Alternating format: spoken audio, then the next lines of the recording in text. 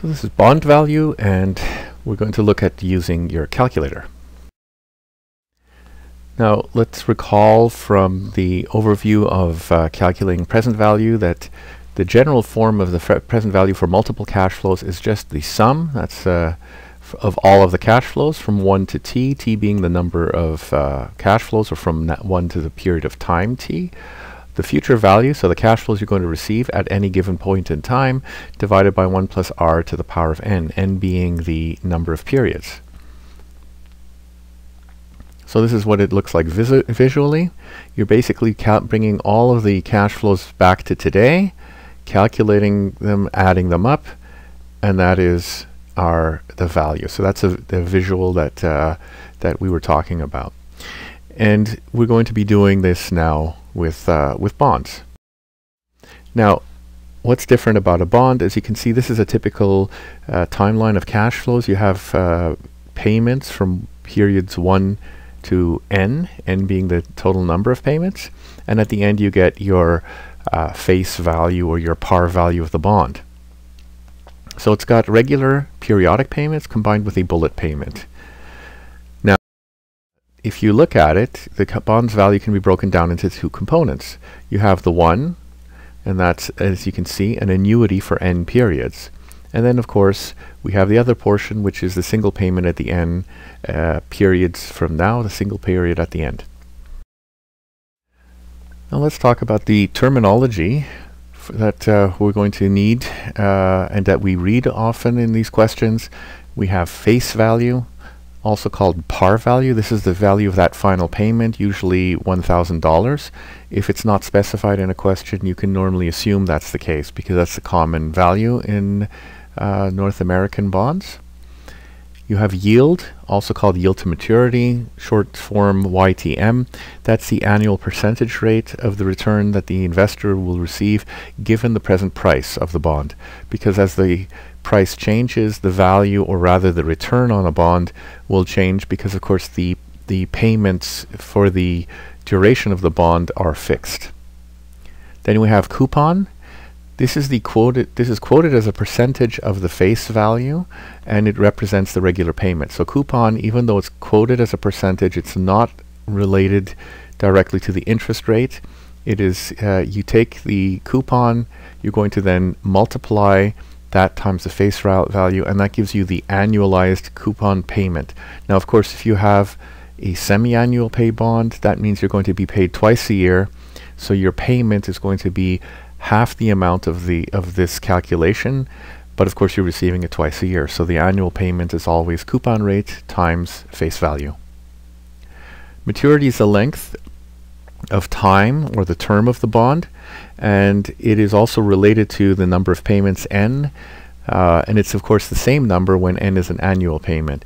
It's going to be twice as high as n if you're being paid semi-annually. So that's again something we'll have to look at in a calculation when we make an adjustment. And finally we have the price, but of course that is the price. Um, it's going to be calculated as the present value of the bond. Now, using a calculator, th things are quite a bit easier. A lot of textbooks still have have equations that you will the, are to use to calculate the value of a bond. It's good to know where the derivation of that equation is, but quite frankly, all you need to do is know how to use your calculator. Now there are five variables, and you can solve for any one of those five given the other four. These are n, the number of periods, and keep in mind, we're talking number of periods, not number of years. So you may have to make an adjustment if the bond is not an annual pay bond. I, or on uh, the calculator that I use, which is a BA2 Plus, Texas Instruments, it's I oh, divided by Y is uh, the button.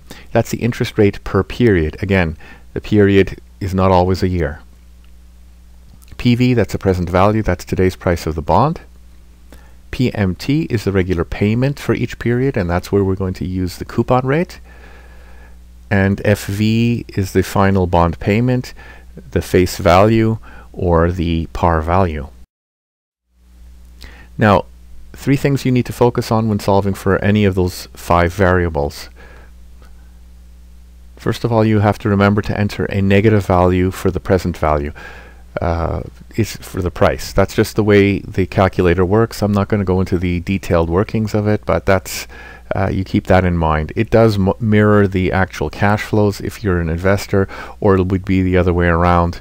So the payments are positive, the future value is positive, but just keep that in mind so that your calculations are correct. You have to enter values for four of the values variables and the calculator will just simply solve the fifth one. Now I always try to keep in mind that you should enter uh, value even for variables which are presumed to be a certain standard value. So, so, often the future value is 1000 but it's good to enter 1000 so that your calculator doesn't have, in case it has the wrong number, uh, it will give you a wrong answer. So it's good to just enter values into the register now if the bond pays semi-annually, then you have to double N, you have to half or have the uh, I or I over Y, and the coupon payment is also halved because you're going to have double as many payments twice a year. So we're going to try a sample problem. Magenta Finishings offers 5.2% coupon bonds with a semi-annual payment and a yield to maturity of 4.68%. The bonds mature in six years what is the market price of the bond if the face value is $1,000? Okay, well, let's look at what we need to calculate. We clearly want to have price, so that's the present value that we're solving for. So the semi-annual means we're going to change the number of payments, so we're going to double them. So n is 6 times 2 because it's 6 years, so we're going to have 12 periods the yield to maturity per period is halved. So that's uh, the now the yield, even though we have two values here with percentages, the coupon is related is not related to the uh, interest or the rate. It's the yield to maturity. So the I over Y is going to be 4.68 divided by 2, 2.34. And then finally, the coupon payment is also halved. We're going to take 5.2% coupon times the face value of 1,000, and we're going to divide that by 2. So here we have it. Now we have n, i over y, payment, and future value. So now we just solve for present value. Then we have minus 1026 and 93. Now you, I'll point out again here, you'll notice calculated as negative uh, that means the price of our bond is $1,026.93. So thanks for your attention, and I hope that helped.